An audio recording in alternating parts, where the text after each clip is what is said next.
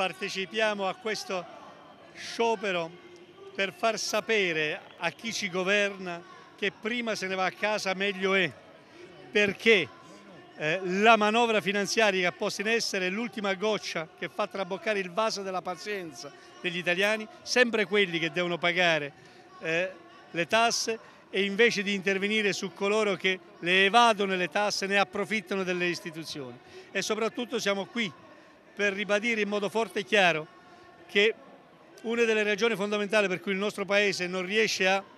risalire la china della credibilità è a causa proprio di chi ci governa. Ma chi mai può venire in Italia sapendo di avere a che fare con un venditore di tappeti, e mi, spiace per i tappeti che sono delle cose serie,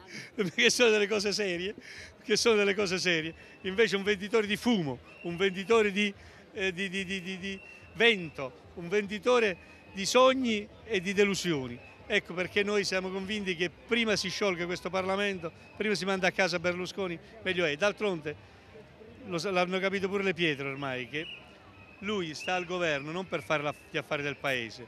ma nell'eterna scelta tra andare a San Vittore, che è un carcere italiano di massima sicurezza, e andare a Montecitorio, preferisce andare a Montecitorio.